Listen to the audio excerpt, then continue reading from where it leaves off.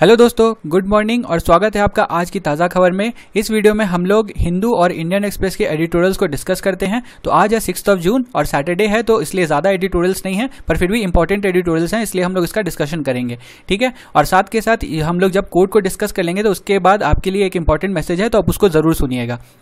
तो चलिए सबसे पहले हम लोग कोड को देखते हैं और कोड के लिए मैं थैंक यू थैंक यू बोलना चाहूँगा सुगंधा को। थैंक यू सो मच आपने बहुत ही अच्छा खासा कोड भेज भेजा है। तो चलिए अब हम लोग डिस्कस करते हैं इसको। तो यहाँ पे है कि give me six hours to chop down a tree and I will spend the first four sharpening the axe यहाँ पे और यह जो पर्टिकुलर कोड है यह किन्होंने दिया है तो यह अब्राहम लिंकन ने दिया है। तो आप समझ सकते हैं कोड से कि इसका क्या मतलब है कि मैक्सिमम टाइम हमारा जो है किसी भी गोल को अचीव करने के लिए तो उसके लिए प्रिपरेशन में हमारा मैक्सिमम टाइम जाना चाहिए। रादर देन आप जो एक्शन लेने की बात कर, करते हो, ठीक है? तो यहाँ पे वही इन्होंने बोला है कि अगर इनके पास छः घंटे होंगे किसी भी किसी भी ट्री को काटने के लिए तो उसके प्रिपरेशन में ये सब मैक्सिमम टाइम एक तरह से देंगे। और जो भी उनका एक तरह से आप बोल सकते हो, जो भी उनका इंस्ट्रूमेंट होगा या जो भी उनका वेपन होगा, उसको वो एक तरह से सही सही करने के ऊपर में सबसे पहले फोकस रहेगा और उसके बाद ही वो कोई भी एक्शन लेंगे। तो ऑब्वियसली इनका जो यह पर्टिकुलर एक्शन है, इससे क्या होगा कि रिज़ल्ट एक बहुत ही अच्छा रिज़ल्ट और पॉजिटिव रिज़ल्ट आएगा, ठीक है? तो यह काफ़ी अच्छा कोट है और इसको आप बिल्कुल आप अगर हो सके तो आप समझिएगा और इंप्लीमेंट करने की भी कोशिश करिएगा। तो चलिए, अब हम लोग आगे बढ़ते हैं। तो इनको तो आप जानते ही होंगे मेरे ख्याल से, और इनके पास एक बहुत ही अच्छा खासा इन्फॉर्मेशन है आपके लिए, ठीक है? इन्फॉर्मेशन क्या है? कि हम लोग ऑलरेडी जानते हैं, कल डेट्स आ चुकी है प्रिलिम्स की, और बोला गया है कि फोर्थ ऑफ़ अक्टूबर को होगा अब, ठीक है? तो अभी आपके पास अराउंड काफ़ी अच्छा खासा समय है वन डेज़ के आसपास है। तो यहाँ पे अब इस वन डेज़ में आप, अगर आप देखो तो around thirty to forty days जो है वो आप आराम से इस्तेमाल कर सकते हो मेन्स प्रिपरेशन के लिए, ठीक है? तो इस रीज़न से मैंने क्या सोचा है, मैंने सोचा है कि अब से एडिटोरियल एनालिसिस और साथ के साथ न्यूज़ एनालिसिस इन दोनों में आपको एक एक क्वेश्चन मिल जाएँगे, ठीक है? एडिटोरियल एनालिसिस में एक क्वेश्चन आपको 250 वर्ड्स का मिल जाएगा और न्यूज़ एनालिसिस में आपको 150 वर्ड का एक क्वेश्चन मिल जाएगा। अब इन दोनों क्वेश्चन को आपको कैसे अटेम्प्ट करना है, इसके लिए मैं आपको कुछ रूल्स एंड रेगुलेशन पहले ही बता देता हूँ, ठीक है? और उसी रूल्स एंड रेगुलेशन को आप फॉलो करेंगे, नहीं तो फिर वही होगा कि मतलब क्लटर नहीं होना चाहिए, कोई भी मैस क्रिएट नहीं होना चाहिए इस चीज़ से रिलेटेड पहली चीज़ क्वेश्चन आपको इस पर्टिकुलर वीडियो में मिलेगा, आपको क्वेश्चन चैनल पर शेयर नहीं किया जाएगा ग्रुप में शेयर नहीं किया जाएगा। ताकि आप लोग एटलीस्ट वीडियो देखें और वीडियो देखेंगे तो आपको वीडियो के थ्रू क्वेश्चन को आंसर करने में भी एक मतलब तरीका मिल जाएगा और कैसे आप अप्रोच करना है वो भी मिल जाएगा। आपको फॉर्डर मटेरियल भी मिल जाएगा क्योंकि जो क्वेश्चन रहेंगे वो एडिटोरियल से बने रहेंगे, जो उस दिन के रहेंगे या फिर न्यूज़ एनालिसिस से बने रहेंगे, जो उस दिन के रहेंगे। तो पहली चीज़ होगी कि क्वेश्चन आपको वीडियो के फॉर्म में मिलेगा, ना ही वो डिस्क्रिप्शन में मिलेगा, ना ही आपको चैनल पर मिलेगा, ठीक है? पहला रूल दूसरा रूल अगर आप ये आंसर लिखते हैं और आप एनालाइज करवाना चाहते हैं तो इसके लिए आपको पहली चीज़ जो करनी पड़ेगी, वो पीडीएफ के फॉर्मेट में होनी चाहिए। ठीक है? पीडीएफ के फॉर्मेट में आप अगर लिख के भेजेंगे तो वो एनालाइज हो जाएगा। ठीक है? और कहाँ पे आपको शेयर करना है? तो ऑब्वियसली आप डिस्कशन ग्रुप पे डालेंगे उसको तो इसलिए हमारे डिस्कशन ग्रुप को ज़रूर ज्वाइन कर लें और हमारा डिस्कशन ग्रुप टेलीग्राम का है at the rate UPSC PSC corridor ठीक है? इसको आप ज़रूर ज्वाइन कर लें। ठीक है? तो ये बेसिक इन्फॉर्मेशन हो गया। अब पीडीएफ में आप किस तरह से मार्क करेंगे तो पीडीएफ में आप जब नेमिंग करेंगे उसका तो नेमिंग आप डेट के हिसाब से करेंगे और क्वेश्चन नंबर क्योंकि दो ही क्वेश्चन रहने वाला है तो क्वेश्चन वन क्वेश्चन टू और डेट रहेगा, ठीक है? और जब आप, अगर आप आंसर लिख रहे हैं ऑब्वियसली हाथ से लिखेंगे तो हाथ से लिखने के टाइम पर आप, हो सकता है कि क्वेश्चन के ऊपर में अपना नाम लिख सकते हैं, जिससे हम लोग को आसानी हो। अब यहाँ पर आती है बात कि कौन उसको चेक करेगा, ठीक है? तो यहाँ पे हमारा जो मेन मोटिव होगा, वो पियर पियर रिव्यू का रहेगा, ठीक है? एक दूसरे में आप मिलजुल के चेक करेंगे, और जब हम, मुझे टाइम मिलेगा या फिर अभिनव सर को टाइम मिलता है तो हम लोग के पास अगर फ्री टाइम रहेगा तो उसमें भी हम लोग सेलेक्टेड कॉपीज को ज़रूर देख सकते हैं। सारी कॉपीज को देखना पॉसिबल नहीं होगा, क्योंकि मैक्सिमम लोग अगर लिखेंगे तो पॉसिबल नहीं हो पाएगा। आपके प्रैक्टिस के लिए है तो इस केस में क्या होगा कि पियर रिव्यू करवा सकते हैं हम लोग, ठीक है? तो पियर रिव्यू का बेनिफिट होगा कि आप दूसरे के क्वेश्चन को, दूसरे के आंसर को पढ़ भी सकेंगे, और उसके अलावा आप मतलब हम लोग भी अपने साइड से रिव्यू करके बता देंगे आपको कि कौन से कौन से पॉइंट्स एक तरह से इंक्लूड करना है। तीसरी चीज़ मॉडल आंसर नहीं प्रोवाइड किया जाएगा, क्योंकि मॉडल आंसर अगर हम लोग देने जाएँगे तो फिर और भी ज़्यादा परेशानी होगी, और और भी ज़्यादा बर्डन बन बढ़ जाएगा। यहाँ पे हमारा जो मेन मोटिव है वो मोटिव रहेगा कि हम लोग आपको प्रैक्टिस करवाना चाहते हैं ठीक है? रादर आपको आ, मतलब हंड्रेड परसेंट स्पून फीडिंग की जगह पे हम लोग प्रैक्टिस करवाना चाहते हैं हम लोग स्पून फीडिंग नहीं कराना चाहते हैं। स्पून फीडिंग से कोई फ़ायदा नहीं होगा आपका भी बेनिफिट नहीं होने वाला है। मैक्सिमम अगर आप सेल्फ प्रैक्टिस करते हैं तो वही सबसे अच्छा रहेगा। हाँ ऑब्वियसली अगर आप खाली आंसर लिखिएगा और उसको रिव्यू नहीं करवाइएगा तो उस केस में होगा क्या कि आपके आंसर लिखने का कोई बेनिफिट नहीं है ठीक है? तो इसी रीजन से हम लोगों ने सोचा कि आप अगर डिस्कशन ग्रुप पे शेयर करते हैं तो उसका बेनिफिट ये मिलेगा कि उसका, आपको पेयर रिव्यू मिल जाएगा पहली चीज़। हम लोग भी फ्री टाइम में अगर टाइम मिलेगा तो हम लोग भी रिव्यू कर देंगे। और साथ के साथ आपका एक मतलब रेगुलरिटी आ जाएगी आंसर लिखने की। ठीक है? और वीडियोस में होगा क्या कि वीडियोस में आपको करंट के ही आंसर्स और क्वेश्चंस मिलेंगे। ठीक है? क्वेश्चंस मिलेंगे एक तरह से। तो आपको, आप स्टैटिक के लिए अगर आप बोलोगे तो स्टैटिक के लिए पॉसिबल नहीं हो पाएगा। अगर किसी दिन मुझे कोई एडिटोरियल अगर अच्छा नहीं लगा और नहीं मिला तो उस केस में हम लोग स्टैटिक के क्वेश्चन भी इंक्लूड कर सकते हैं। ठीक है? अब ये हो गया। अब एक और पॉइंट आपको मैं बोलना चाहूँगा यहाँ पे कि अब रही बात क्वेश्चन कब कब आपको दिखाया जाएगा। तो इसकी कोई गारंटी नहीं है। ठीक है? कि आपको स्टार्ट ऑफ़ द वीडियो में मैं नहीं दूँगा, ना ही आपको मैं एंड ऑफ़ द वीडियो में दूँगा। आपका काम यह रहेगा, आपकी ड्यूटी रहेगी एटलीस्ट आप इतना सपोर्ट हम लोग को कर सकते हो कि आप वीडियो को पूरा पूरी तरह देखो। पूरी तरह वीडियो में देखोगे तो आपको वीडियो के बीच में ही कहीं ना कहीं मिल जाएगा। ठीक है? क्योंकि अब ये एडिटोरियल पर डिपेंड करता है कि किस एडिटोरियल को सिलेक्ट करके मैंने क्वेश्चन बनाया है। तो इसी के बेसिस पे आपको क्वेश्चन वहाँ पर मिल पाएगा। ठीक है? तो फॉर द टाइम बिंग हमारा मेन्स आंसर राइटिंग प्रोग्राम यही रहने वाला है, ठीक है? और इसके अलावा आपको एक और चीज़ बता देता हूँ, क्योंकि अब डिबेट एक और उठेगी कि हिंदी और इंग्लिश का, कि हिंदी मीडियम के भी स्टूडेंट्स हैं हमारे साथ और इंग्लिश मीडियम के भी स्टूडेंट्स हैं। तो हिंदी मीडियम और इंग्लिश मीडियम के स्टूडेंट्स को मैं यही बोलना चाहूँगा, चूँकि मेरा इंग्लिश मीडियम है तो मैं आपको क्वेश्चन जो है वो इंग्लिश में ही दूँगा, ठीक है? पर आप क्या कर सकते हो, आप इंग्लिश को पढ़कर, आप उसमें, उसका जो भी आपको समझ में आता है, आप वहाँ पर उसी के हिसाब से आप आंसर लिख सकते हो, ठीक है? उसको आप हिंदी में ही ट्रांसलेट कर लो अपने हिसाब से और उसके बाद आप उस क्वेश्चन को आंसर में लिखो। और अगर जब मैं क्वेश्चन को आपको बताऊँगा तो वो मैं आपको हिंदी में भी बता दूँगा कि हिंदी में इसका मीनिंग क्या होगा और इस क्वेश्चन में क्या डिमांड है। तो इसका बेनिफिट क्या होने वाला है? तो इसका बेनिफिट होगा कि हिंदी मीडियम के स्टूडेंट भी आंसर लिख सकते हैं। और हाँ आप हिंदी मीडियम के लिखोगे तो भी हम लोग एनालाइज कर देंगे कोई दिक्कत की बात नहीं है। क्योंकि ऑब्वियसली पेयर रिव्यू जो होगा तो उसमें हिंदी मीडियम के स्टूडेंट्स भी होंगे और इंग्लिश मीडियम के स्टूडेंट्स भी होंगे। तो ऑब्वियसली वो दोनों मिलकर क्या कर सकते हैं? ऑब्वियसली आप एक, एक दूसरे का आप पेयर रिव्यू कर सकते हो कोई दिक्कत नहीं आएगी। प्रैक्टिस है मेन मोटिव ठीक है? आप इसको बिल्कुल ध्यान में रखिएगा और जो भी रूल्स एंड रेगुलेशंस बताए गए हैं, उसको पूरी तरह फॉलो करिएगा।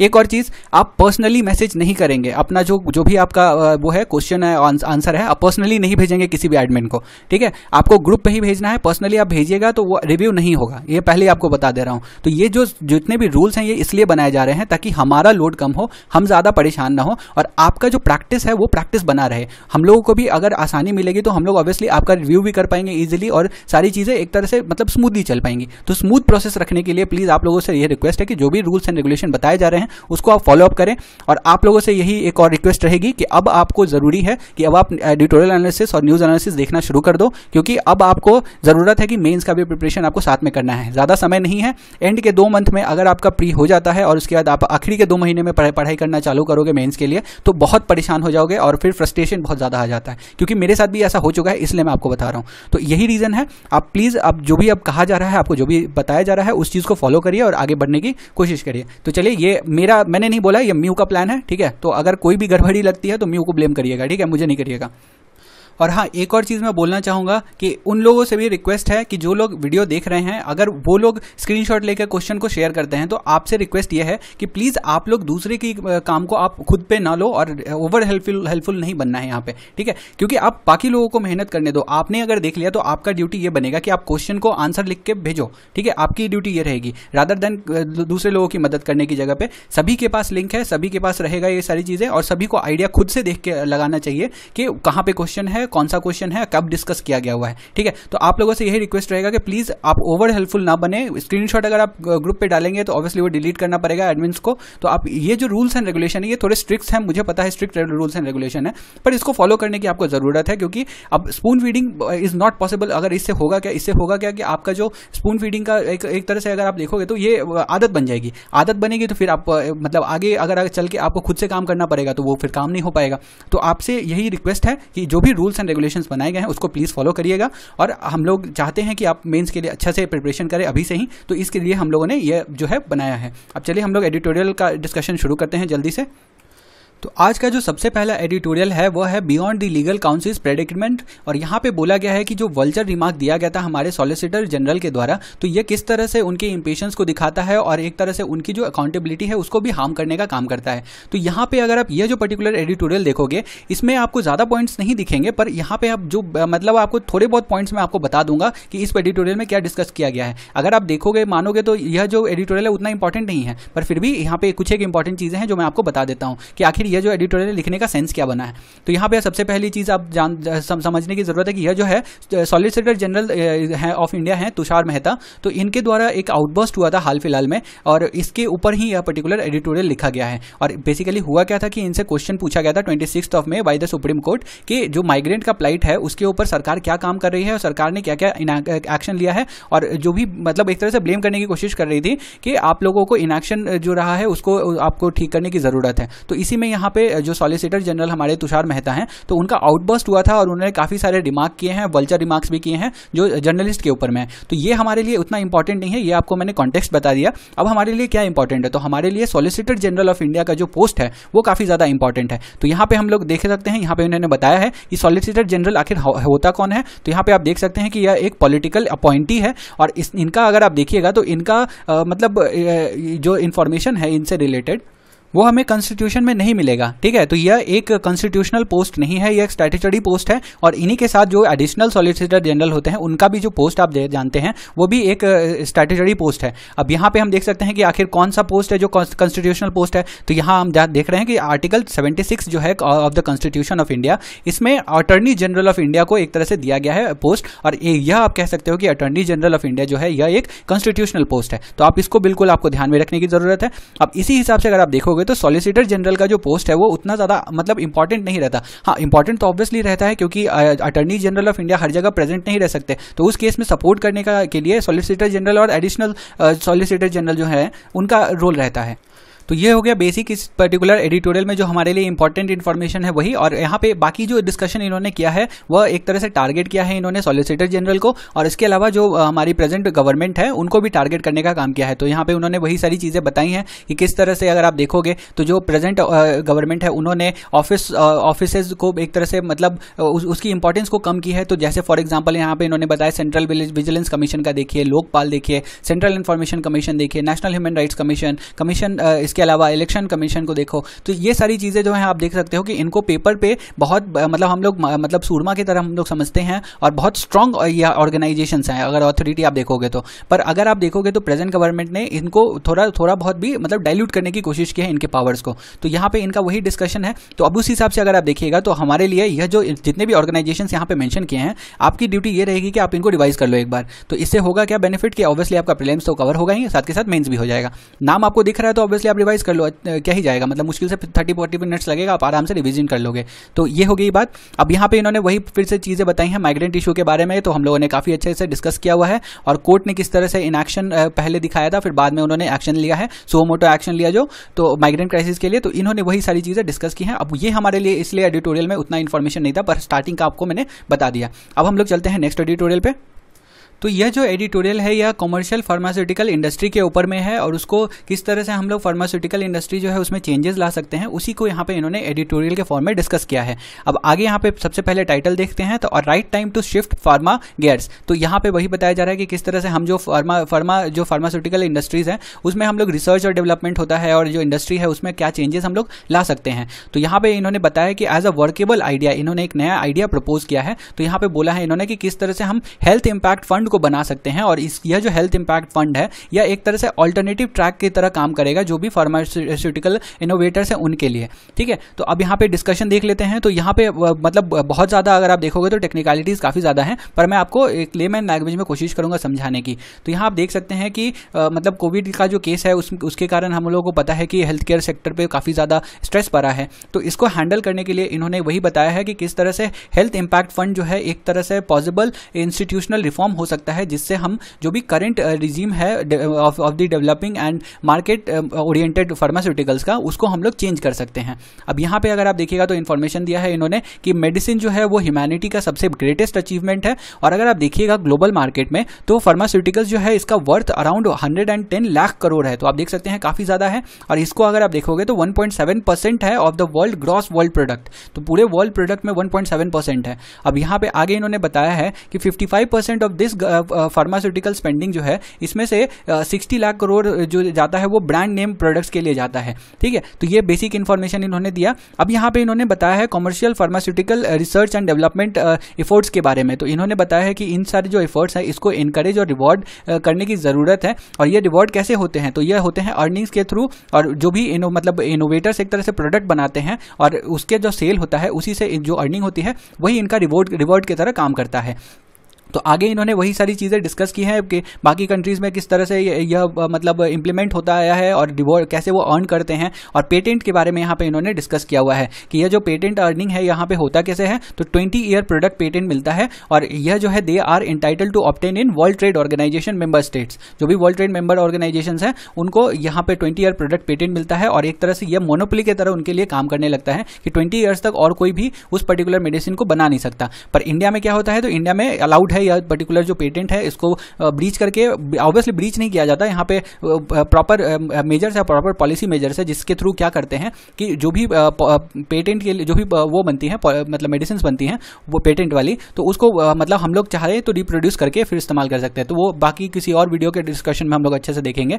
अब यहाँ पे हम लोग कॉन्सेंट्रेट करते हैं। तो यहाँ पे एक टेम्प्रेरी मेनोपली बन जाता है और इससे होता क्या है कि वो जो भी प्रोडक्ट है, वो उन्हीं के पास एक तरह से रह जाता है और यही बेचने का जो है, ज़िम्मेदारी इनके पास ही रह जाता है। अब आगे अगर आप देखोगे तो यहाँ पे इंडिया में आप देखोगे तो इंडिया में प्रॉफिट मैक्सिमाइजिंग मोनोपली प्राइस जो है, वो न्यू मेडिसिन का वो काफ़ी ज़्यादा लोअर है। और अगर आप देखिएगा तो यहाँ पे अगर आप देखेंगे तो जो भी सिटीजन्स के लिए जो भी वो है मतलब मेडिसिन होते हैं, वो काफ़ी ज़्यादा अनअफोर्डेबल भी हो जाते हैं।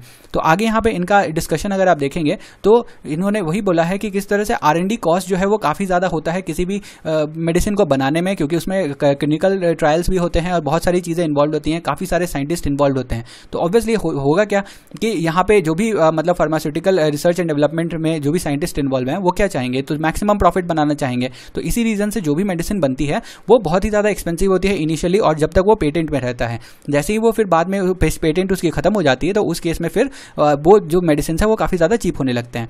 अब यहाँ पे आर और उसके कंसर्न से रिलेटेड यहाँ पे इन्होंने बताया है। तो यहाँ पे बताया है कि मतलब while we should evidently continue funding हम लोग कंटिन्यू कर सकते हैं फार्मास्यूटिकल आर को, पर हमें ज़रूरत है कि कुछ एक ऑप्टिमल चेंजेस लाने की ज़रूरत है। अब यहाँ पे कौन से चेंजेस लाने की ज़रूरत है? पहले हमें कंसर्न्स पता होने चाहिए, क्योंकि प्रॉब्लम पता होगा तभी सॉल्यूशन निकल पाएगा।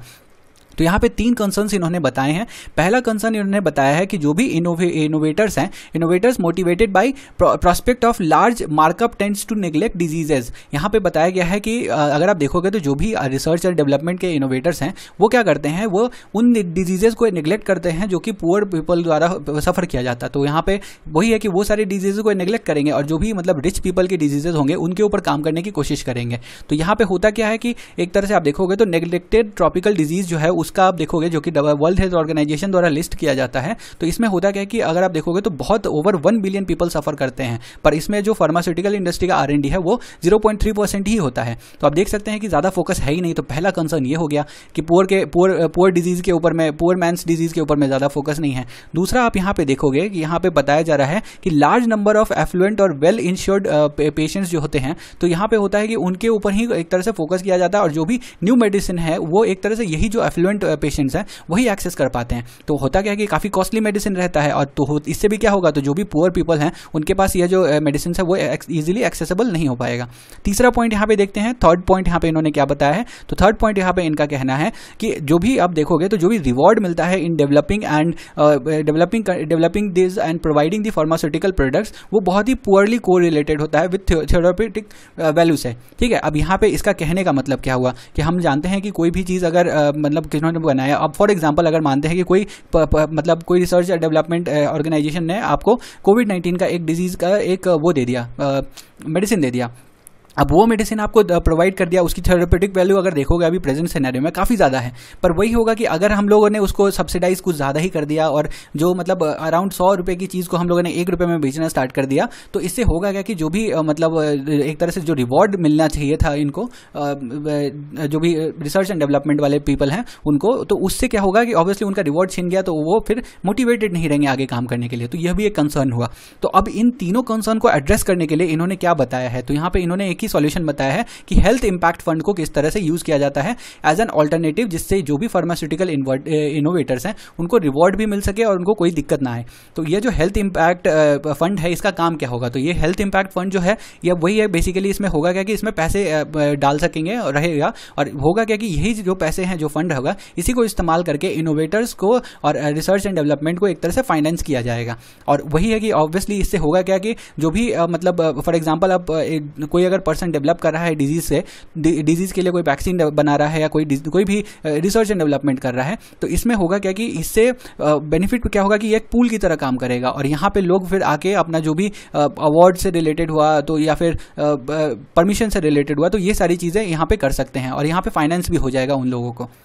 तो ये एक काफ़ी अच्छा इनोवेटिव एक स्टेप मान सकते हैं। अब यहाँ पे आती है कि आखिर फंड कैसे किया जाए इस पर्टिकुलर हेल्थ इंपैक्ट फंड को। तो यहाँ पे बोला जा रहा है कि गवर्नमेंट कर सकती है। अगर गवर्नमेंट के पास पैसे हैं तो गवर्नमेंट विलिंगली इसमें जो है फंड कॉन्ट्रीब्यूट कर सकती है। पर अगर गवर्नमेंट नहीं कर सकती हो तो उस केस में क्या होगा कि उस केस में मतलब इंटरनेशनल टैक्सेस के थ्रू किया जा सकता है। फॉर एग्ज़ाम्पल जैसे ग्रीन हाउस गैस एमिशन का है टैक्स को उसके ऊपर, या कार्बन फुटप्रिंट का होता है। तो ये सारी चीज़ों को यूज़ करके हम लोग ये जो हेल्थ इंपैक्ट फंड है, इसको एक तरह से फाइनेंस करने का काम कर सकते हैं।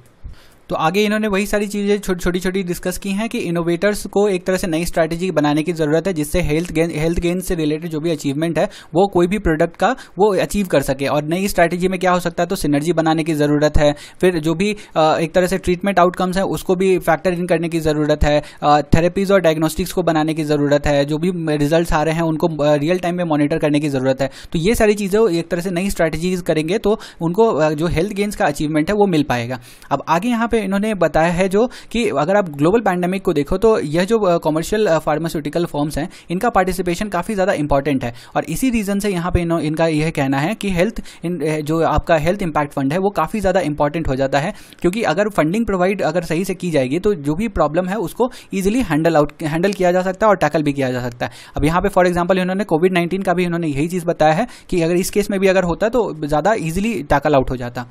तो एंड में इन्होंने एक एथिकल क्वेश्चन के साथ छोड़ा है, अगर आप देखोगे जो भी कॉमर्शियल फार्मास्यूटिकल इंडस्ट्रीज़ हैं उनके लिए, कि अब यहाँ पे दो ही तरह के थॉट प्रोसेस हो सकते हैं। एक थॉट प्रोसेस हो सकता है कि यह एक इफ़ेक्टिव प्रोडक्ट का डेवलप करें और फिर उसके बाद उसको हाई सेल्स करें, उसका जो भी मतलब ज़्यादा प्राइस पे बेचने की कोशिश करें। तो यह होगा एक तरीका। और दूसरा यहाँ पे इनके पास थॉट प्रोसेस यह हो सकता है कि यह एक इफ़ेक्टिव प्रोडक्ट बनाए और उसको डिप्लॉय करें, जिससे जो ओवरऑल डिज़ीज़ बर्डन है, उसको कम किया जा सके इफेक्टिवली और फिर ऑब्वियसली इससे जो जब डिज़ीज़ कम हो जाएगा तो फिर बाद में फ्यूचर में जो भी चेंजेस करना होगा, वो कर सकते हैं। तो ये एक एथिकल क्वेश्चन है और इसके ऊपर ही डिपेंड करेगा कि आगे का फ्यूचर किस तरह से डिसाइड होता है फार्मास्यूटिकल इंडस्ट्री से रिलेटेड तो हमारा यह पर्टिकुलर बहुत ही अच्छा एडिटोरियल था, इसको हम लोग ने डिस्कस कर लिया। अब नेक्स्ट एडिटोरियल पर चलते हैं।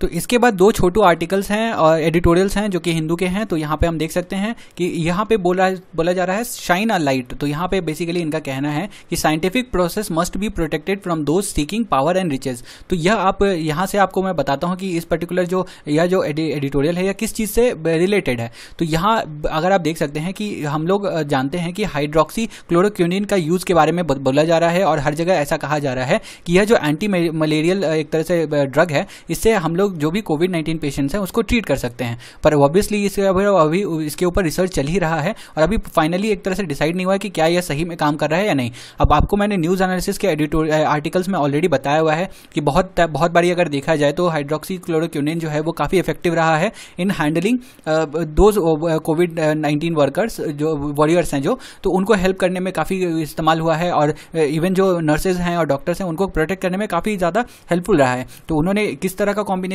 किया तो कॉम्बिनेशन वही रहा कि तीन चार हफ़्ते उन्होंने हाइड्रोक्सी का एक तरह से डोज लिया और इसके अलावा पीपी किट्स को अच्छे तरीके से पहन के और फ़ंक्शन किया। तो वो निगेटिव ही रहे हैं, उनको कोविड पॉजिटिव वो नहीं हुए।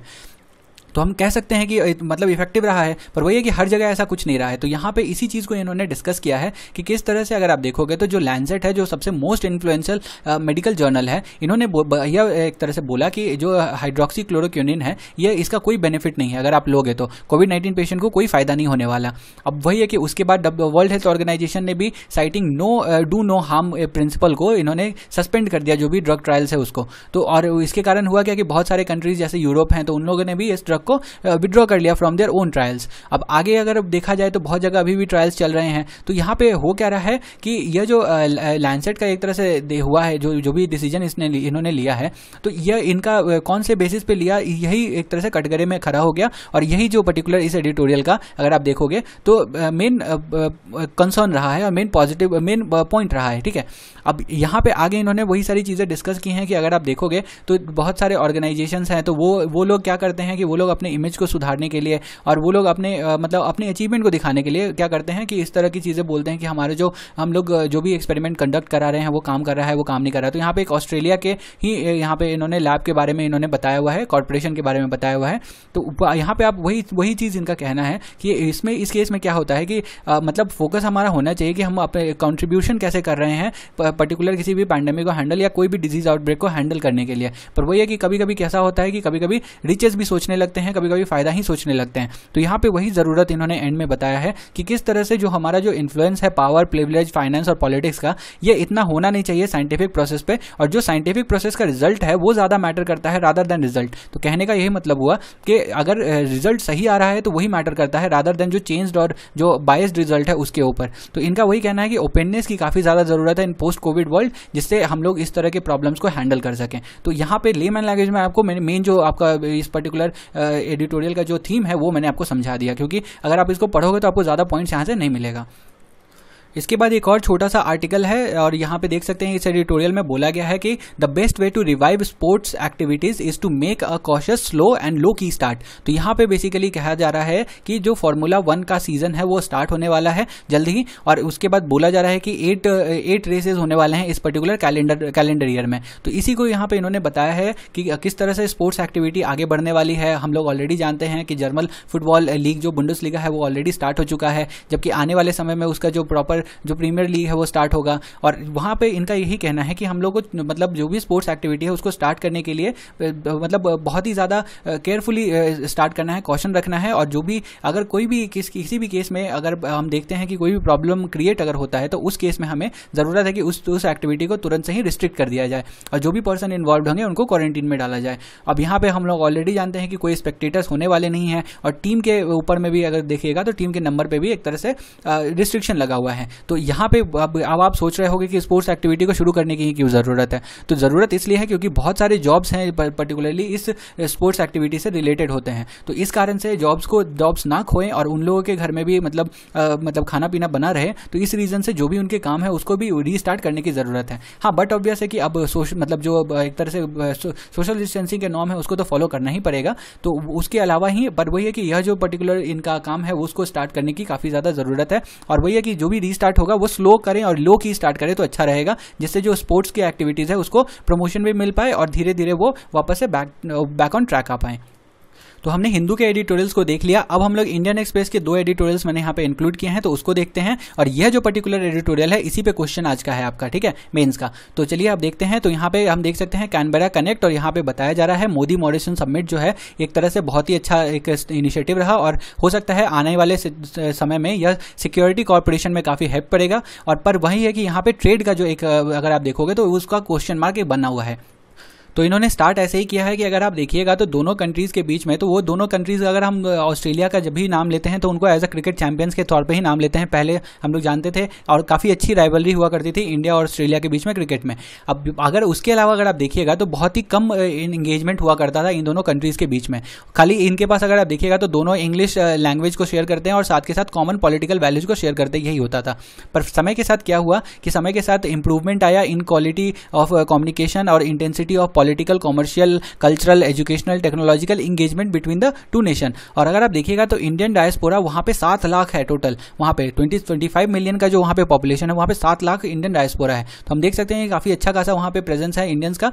और यहाँ पे आगे आप देखोगे तो यह जो वर्चुअल समिट हुआ था मोदी जी और जो वहाँ के ऑस्ट्रेलियन प्राइम मिनिस्टर हैं स्कॉट मॉरिसन तो यहाँ पे काफ़ी सारे बड़े बड़े स्टेप्स लिए गए हैं। अब यह जो स्टेप्स थे ये कल मैंने आपको ऑलरेडी डिस्कस करके बताया हुआ है न्यूज़ एनालिसिस में। तो जिन्होंने न्यूज़ एनालिसिस देखा होगा, उनके लिए यह एक तरह से से डिवीज़न हो गया। अब यहाँ पे आपको बेसिक चीज़ें मैं आपको बता देता हूँ कि ताकि आपको जो क्वेश्चन मैंने पूछा है वो आपको आंसर करने में कोई दिक्कत ना हो। तो यह जो जो एग्रीमेंट साइन किया गया तो हम लोगों ने कल देखा था कि टोटल नाइन एग्रीमेंट साइन किए गए थे। तो जो लोग अगर आप कल के वीडियोज़ को वीडियो को नहीं देखा है न्यूज़ एनालिसिस वाला उसको ज़रूर जाके देखें क्योंकि आपको वहाँ से बहुत सारे पॉइंट्स मिल जाएँगे आंसर मिल आंसर को लिखने के लिए। ठीक है? तो आप ज़रूर देखें। कल का ही देखना है आपको। कल का मतलब फिफ्थ ऑफ़ जून का। ठीक है? अब यहाँ पे आगे आप देख सकते हैं कि डिफेंस और सिक्योरिटी कॉपरेशन में दोनों का जो आ, मतलब कंट्रीज़ हैं वो काफ़ी ज़्यादा आगे बढ़ी हैं और काफ़ी अच्छा खासा डिस्कशन भी हुआ है। और इवन उन्होंने क्या किया है तो जो उनका स्ट्रैटेजिक कॉपरेशन हुआ करता था, उसको भी उन्होंने सेक्रेटरी लेवल से बढ़ाकर डिफेंस और फाइनेंस फाइनेंस लेवल तक पहुँचा दिया है, जो टू प्लस टू डायलॉग हुआ करता था। अब आगे यहाँ पे देखिएगा तो जो भी इनका चाइना का असर्टिवनेस है जो कि इस particular Indo Australia Indo Pacific region में है तो इसको भी इन्होंने मतलब डिस्कस तो कुछ नहीं किया, पर ऑब्वियसली जो भी स्टेप्स लेने की कोशिश कर रहे हैं, यहाँ पे म्यूचुअल कॉपरेशन के द्वारा इस पर्टिकुलर डेंजर को हैंडल करने की कोशिश कर रहे हैं। इसके अलावा अगर आप देखिएगा तो दोनों कंट्रीज़ हैं जो कि इंडिया और ऑस्ट्रेलिया हैं तो इन दोनों का जो स्ट्रैटेजिक कोलेबोरेशन है, इनका other nations in the region के साथ भी काफ़ी अच्छा रहा है, जैसे Japan South Korea Vietnam Indonesia तो ऑब्वियसली यह यहाँ पे कोशिश क्या करेंगे, जो अगर मल्टीलैटरल लेवल पे अगर होगा तो ये सारी कंट्रीज़ एक साथ मिलकर काम कर सकती हैं।